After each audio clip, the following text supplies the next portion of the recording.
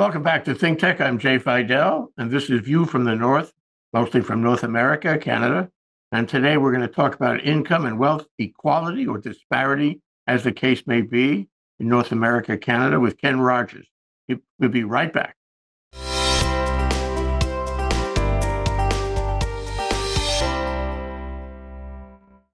Welcome back to the show, Ken. Great to see you. Uh, let's talk about income and uh, and wealth disparity in Canada. Uh, very important. We understand how things work there. We can learn from that. What can we learn? Well, not a heck of a lot different than than in, in the U.S. Uh, income inequality is a problem worldwide, and um, the explanation of it is pretty simple um, you know, how does it arise and why does it arise? And will it continue to get worse or better? Um, and um, there was a famous book written about less than 10 years ago. A fellow named Thomas Piketty, a, a French economist, um, and uh, the book was an instant uh, smashing success, uh, made New York Times top list but uh, the most interesting thing about it, it was the most viciously attacked economics book ever written. Um, and it was attacked by the uh, you know the wealthy elite in the in the United States, uh, you know uh, particularly you know the uh, the Cato Institute, uh, for example. This is a publication from the Cato Institute.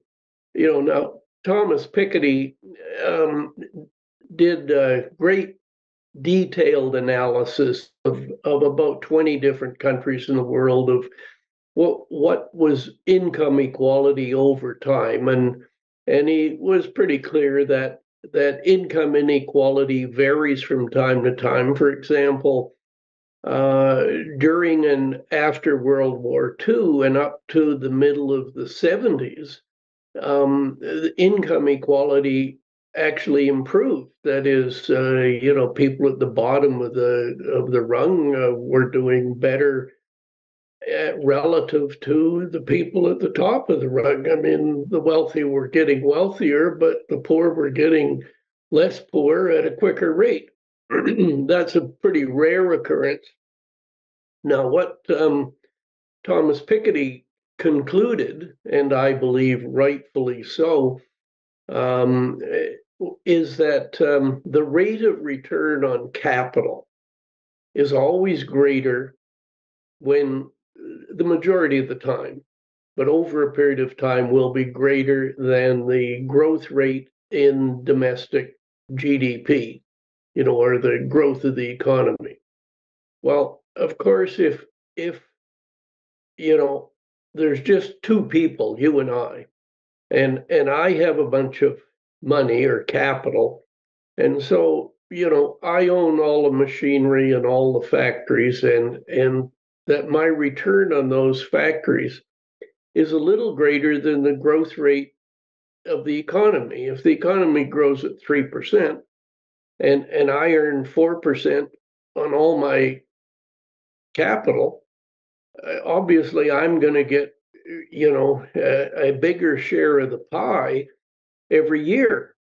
You know that that my wealth and my income will grow faster than everybody else's added together.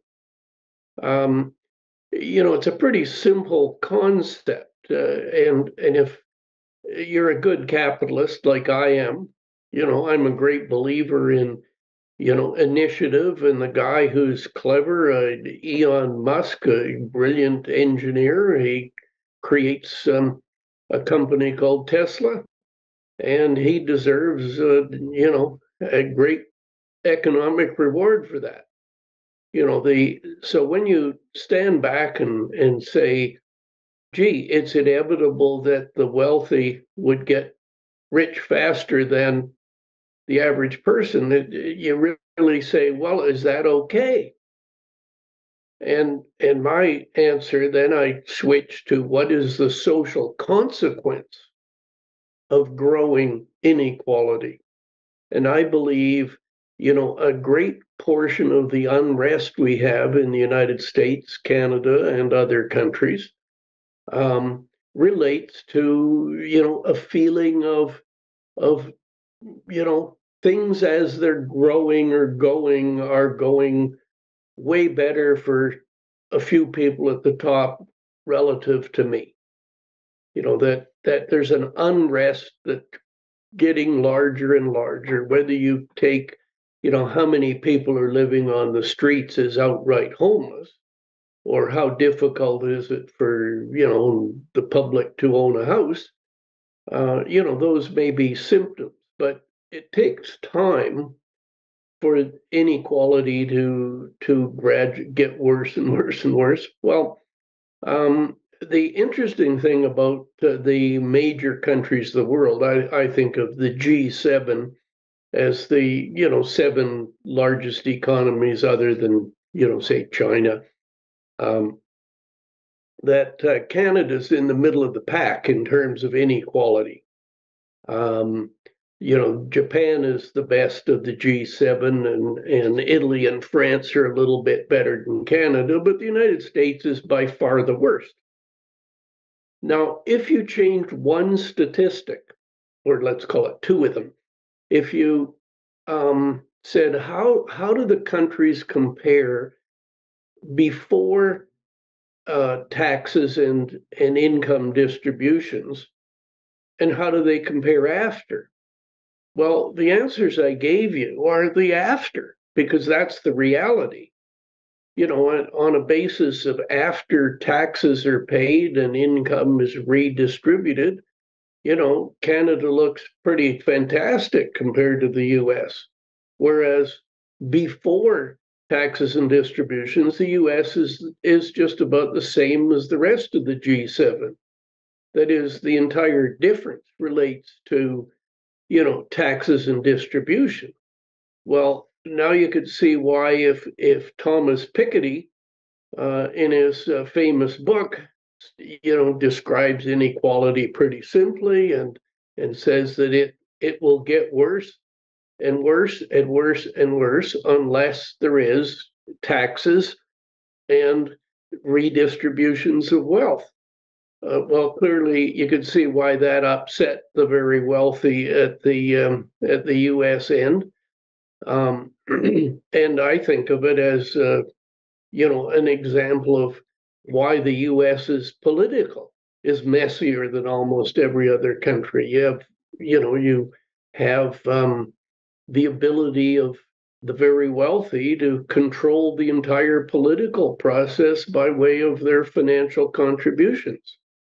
Where countries like Canada have said, you know, corporations and unions may not contribute to political funding and they limit the funding very dramatically. Uh, you know, it costs about the same to run a total federal election in Canada as it does for one state senator in the US. Uh, it, um, you know, it's just, just, you know, throwing money at it uh, uh to get a result. Um, however, you know, if we take, uh, you know, the Thomas Piketty thing of, of what inequality is there? I got a few examples of, of stuff in, in why the United States is so pathetic. Uh, I saw one statistic that uh, that four four of the richest U.S. families had more wealth than the bottom half of the United States total population you know, so if you can say you got four people, you know, uh, you know, you could name the four, but you could pick half a dozen of the of the top billion, you know, let's call them almost trillionaire level people. Um, well, when you think of of there's only about three eighths of the U.S. population does not own a house, you know, or or a condo. So so in the bottom half, you're still sitting where, you know, maybe a quarter of the poorest 50% of Americans still own a house. Well, if you think, you know, millions and millions of people owning a house, they still have less money than four people or four families. uh, like wealth and income go together, but you know, uh, another simple kind of example is um, is in the United States uh, in 2018, the um, the richest 400 U.S. families paid an average income tax rate of 23%. Now, the bottom 50%, the bottom half of US households paid an average income tax rate of 24.5% or more. Now, you know, does that sound reasonable? You know, if you're a guy living on the street and you want to spit out and get angry about something, you know, that's not a bad idea. Um, another one was um, in 2019, the US Census Bureau said that inequality in the United States was higher than it had ever been in history. Now, that was just before the Trump uh, brought in the uh, rich tax cuts or tax cuts for the wealthy. Um, now, showing a, a little bit over the last 40 years, the top 1% of people have had their, their income increase 300%. That is, if they used to earn $1,000 a day, they now earn $300,000 a day. Oh. You know, just just a pretty oh. pretty significant difference where yeah. the bottom 20% of people their income only went up 16%. You know, so if they used to earn $100 a day, they now get $116. No, no, that ignoring inflation and so on. I mean, inflation did eh, ate up more of it than the guy than the bottom 20% of the population gained. Um, and and you you really, you know, have a thing like comparing that 300% increase for the top 1%. Well, the next 19%, let, us take virtually all the professionals, like the medical doctor that everybody says, you know, is earning so much money. I'm, you know, what a terrible thing. I should have get my kids to be medical specialists or or to be Wall Street lawyers. You know, well, their income in that last 40 years really only went up 70%. No, that, that's, you know, they at least beat inflation. Yeah. you know, like if you think of the, the MD that, uh, you know, lives in a really fancy house and drives, and his wife drives a Mercedes and so on, you know, it's still, you know, they did, they did nothing compared to the, to the top guys. Um, you know the you know the majority of people that is if you took the 20th percentile to the 80th percentile you know virtually all the people they're they're in the last 40 years their income went up about 40% well that's probably not as much as inflation you know well um, you know the the basic idea of income inequality to me is is so basic to uh, the whole idea of democracy. You know, is not let's be libertarians to the end of of all possibilities. You know, a libertarian to me, like the Ayn Rand or the Cato Institute at its extreme types of view, is is that the rich guy he should be able to keep absolutely every penny he earns, and you should keep your grubby hands off. And and that uh, you know the idea is that you know to give somebody help when there there's a problem. You know, even the you know young girl that gets pregnant, the parents disown her. You know, should society help that girl out?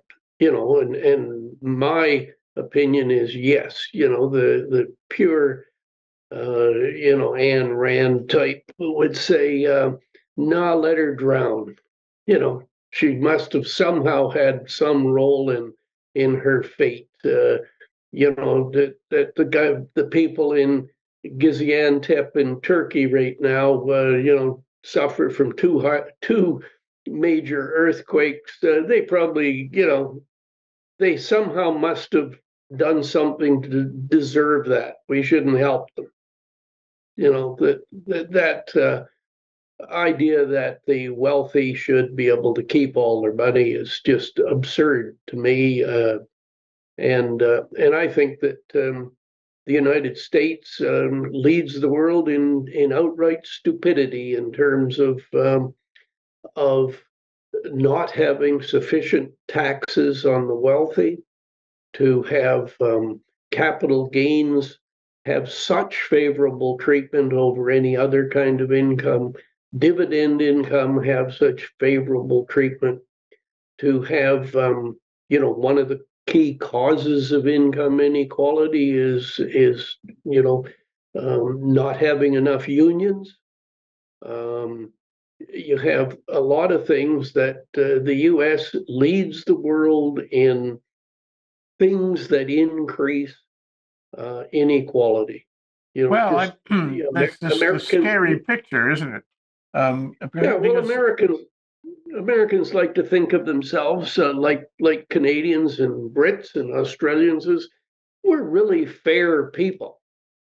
Well, that's not fair in any description of of fairness, or that's not not being human. It's not kind. It's not thoughtful. It's not whatever adjective you can use. Uh, the opposite of of greedy. yeah. Well, hmm. yeah. The other the other part is that uh, you did mention that um, if you're if you're earning your your money on on the investment of your capital, you're not necessarily working, not even working like that doctor you mentioned. Um, you're just sitting back in the armchair eating bonbons, and your capital is working for you. You, you, and the people around you never have a work a day in your life, and yet you're getting all this incredible income with low taxes, um, and um, and it, it's passed on from generation to generation. Uh, well, without... the, world, the world's full of Paris Hiltons.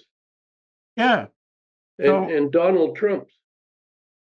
I mean, yeah. who, because they have the inherited wealth, look at the damage he's done to the world.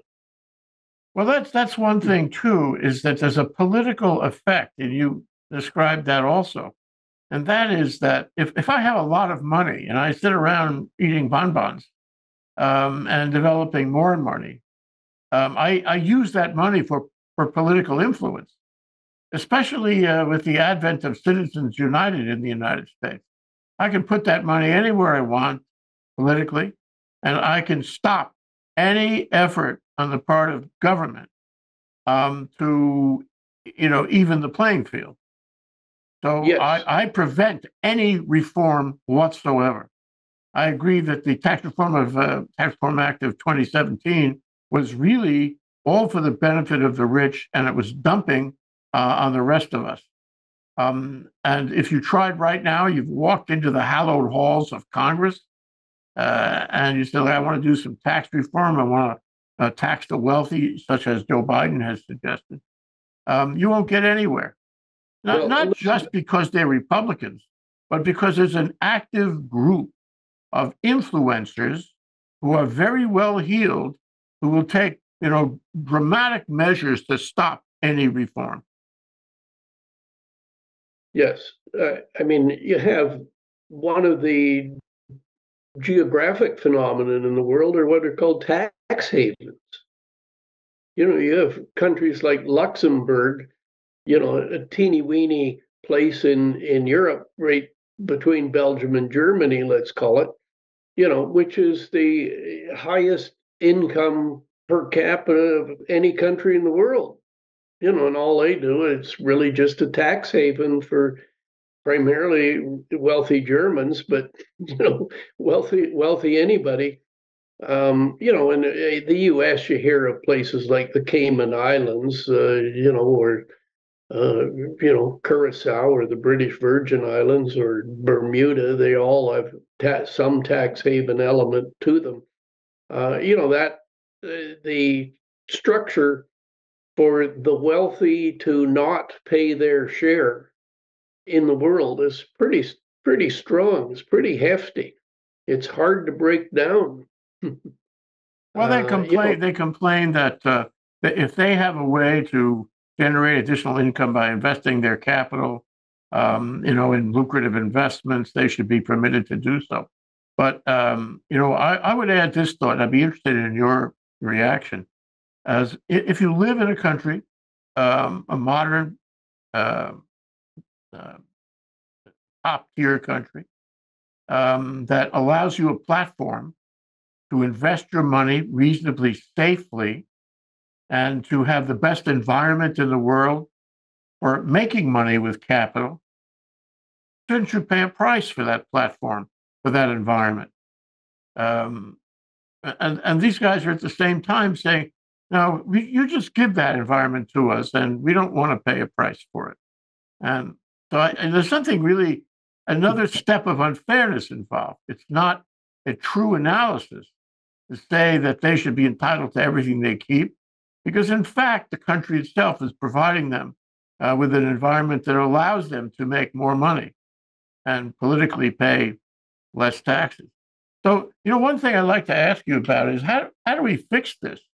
What did Piketty say about fixing it? What do you say about fixing it? I mean, some Well- people would say you have to have a revolution. What do you have to do? Well, Elizabeth Warren was correct in her in her basic strategy of of you know you can correct virtually every political ill in the United States with a simple ta- you know small tax on the very very very wealthy. You know, is they they are paying such a puny unreasonable share you know, that you simply need to get more tax from the wealthy and redistribute it for the public good. You know, for example, when when you and I went to university graduate school in New York City, uh, you know, way back, you know, a zillion years ago, um, the income tax rate in the United States, the highest tax bracket was at 90%. You know, it, it was left over from World War II. Well, you know, it takes a world war for the rich guys to say, goodness, we better buckle down and protect the whole country or something. That, that was a bit dramatic to, and the only way that that could be done was contribute. But, but all the very, very wealthy families did extremely well in the 50s and 60s even though um, those were the decades in which middle class got created and developed really how how Americans and Canadians and Australians got to own single family homes. How everybody had an automobile. Pretty soon they all had two automobiles. You know, it, it fantastic time period, but it was only it was because the contributions of the wealthy to the society were fair and reasonable. You know, and it, you know, if you if you're earning, you know, uh, two hundred million dollars a year and your marginal tax rate is ninety percent, I still don't feel too bad for the guy who's got 25, 30 million dollars left. Right. He's fine. And um, uh, but it's not like that anymore. It's like they got greedy. They got greedy through the likes of Citizens United. They got greedy um, to stop any uh, tax. Ninety percent is a long way from where we are, um, and they want to hold on to everything and dump on the little guy. But you know, one other comment on that, Ken, is that you know, look at Trump. The phenomenon of Trump. He has his base. His base is in large part very poor and yet his base supports him or did support him on um, a tax reform act that would only tax them, not the rich guys. So it's upside down. a lot of that is if you just think of straight libertarian, you know, and I am for freedom. You know, leave me alone. You know, if if there are problems, it's caused by Big Brother. That plays really well for the very, very rich. you see the very, very rich and, you know, the hillbilly have that in common. You know, just that, that, uh, you know, freedom sounds like a good idea. You know, and, and, you know, the poor guy who's, you know, um, especially the least educated ones, you know, you want to blame somebody, and it's pretty easy to blame Big Brother, you know, the deep state, who whatever that is. You know, and and a lot of these racial things, you know, arise really from, you know, the the poor end of the Trump base. You know, they they're having a hard time with jobs. Like the gig economy does not work very well. Um, you know, is right now one of the big economic changes as I see is is that what has happened in the past when technology has created whole new areas and whole new jobs and and eliminated others there's always been replacement jobs that were pretty good.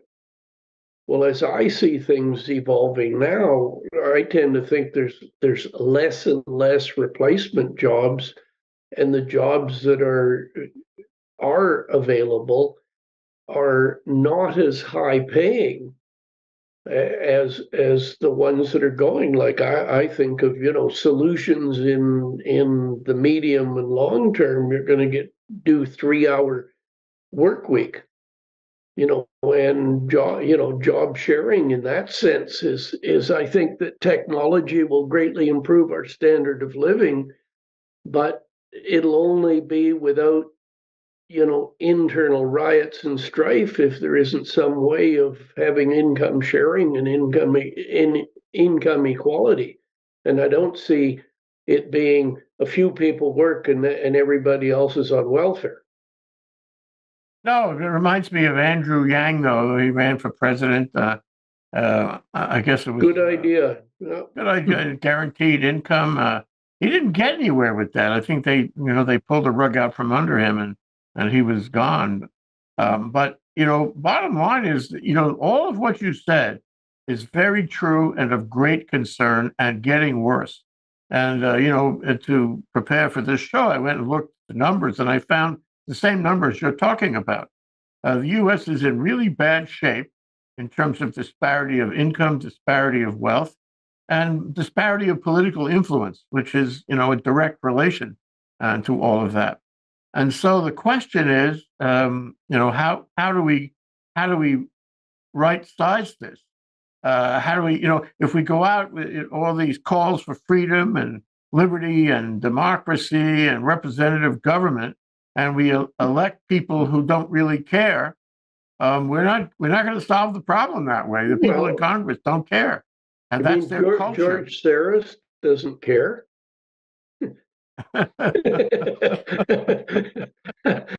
mean, you got to elect somebody. You got to know who you're electing and what they really stand for.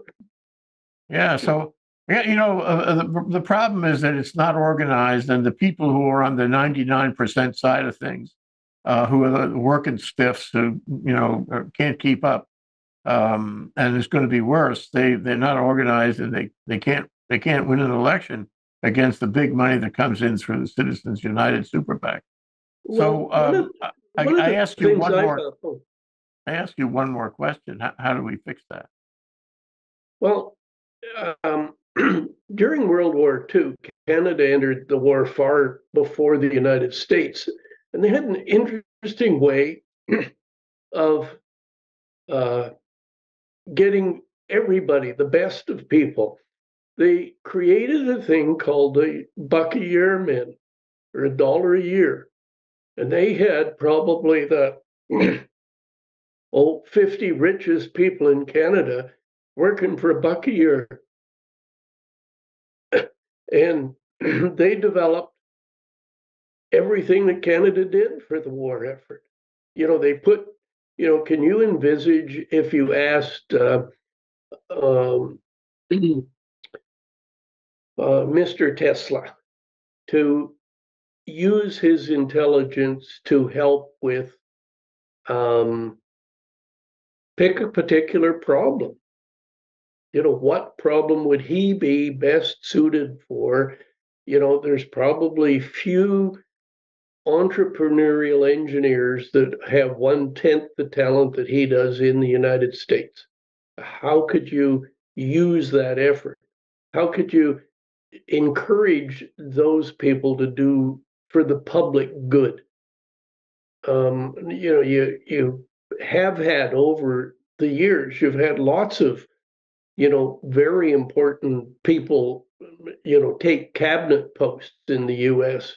You know, that were wealthy and it cost them a lot of money just to be in that cabinet post. I think that that's an important item is is get the wealthy to be part of the solution rather than keep fighting. Gotta, yeah, gotta care about the country. Gotta care about, you know, your brother. Um, you gotta care about the, the society in which you live. And I think I think we've we've lost that. Instead, we have greed and uh, a huge disparity, uh, not only of money, but of attitude. Uh, and I, I don't know how you fix that. But let's talk next time about campaign financing and see whether there's uh, some solution there. Ken Rogers, Dr. Ken Rogers, uh, our friend in Canada, in uh, Kelowna, British Columbia, helping us understand these very knotty problems. And they're not just the US, they're international. And we need to know what's going on in other countries like Canada. Thank you so much, Ken. Bye, Jay. Aloha.